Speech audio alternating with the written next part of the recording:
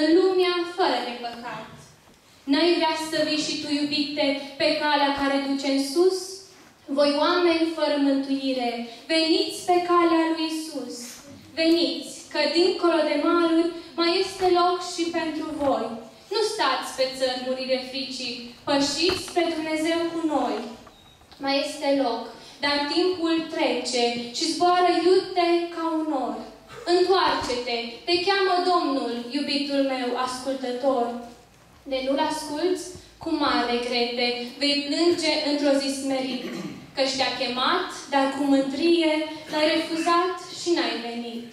Pe cruce la Golgota, prietene, Hristos în locul tău muri, să-ți ierte multele păcate, dar tu ai refuzat să vii. Ridică-ți mâna ta și spune, Iisuse, mă predau smerit, căci ale mele mari păcate pe Golgota te-a răstignit. Nu amâna chemarea sfântă, căci poate mâine vei muri, chiar dacă astăzi ești o floare și florile se rup, să știi. Cum să-ți mai spun de celelalte, ce nu le vezi, dar ele sunt, să nu-ți închipuiești că omul e numai pulbere, pământ. Purtăm în noi și supra omul, ascuns și tăinuit în lut. Căci omul nostru din lăuntru e sufletul cel nevăzut.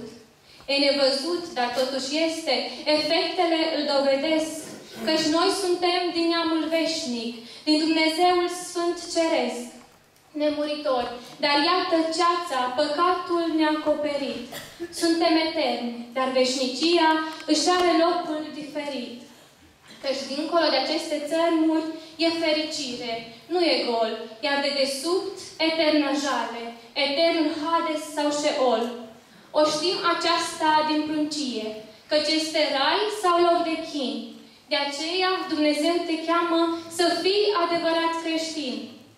Căci nu-i destul doar Tatăl nostru, Hristos ar vrea mai mult să faci, să-ți schimbi viața ta murdară și în taine sfinte să te îmbraci.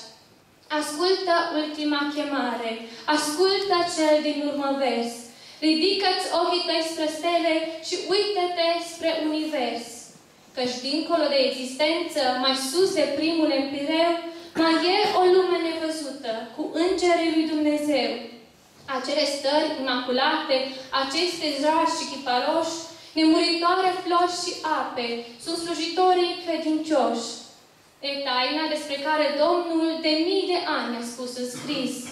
Voi, frați, surori, veniți să mergem, cântând spre rai, spre paradis. Căci dincolo de aceste maluri e sărbătoare, e suplin, e pomul vieții din cetatea cerescului Ierusalim. Hristos, la dreapta strălucirii, iar lângă el, pe același mal, va sta mireasa lui aleasă, pe țărmuri sfinte de cristal căci dincolo de aceste maluri e visul nostru împlinit. O, Doamne, adu marea clipă și ceasul nostru mult dorit. Amin. Amin.